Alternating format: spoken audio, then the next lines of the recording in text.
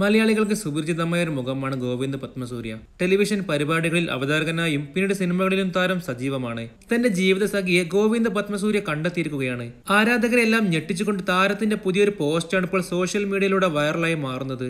സ്വാതന്ത്ര്യം എന്ന ജനപ്രിയ സീരിയലിലൂടെ അഞ്ജലിയായി മനം കവർന്ന ഗോപിക അനിലിനെയാണ് താരം വിവാഹം ചെയ്യാൻ പോകുന്നത്.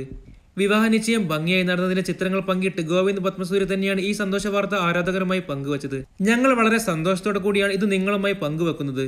ഇന്ന് അഷ്ടമി ദിനത്തിൽ ശുഭമുഹൂർത്തത്തിൽ ഞങ്ങളുടെ വിവാഹ നിശ്ചയം നടന്നു.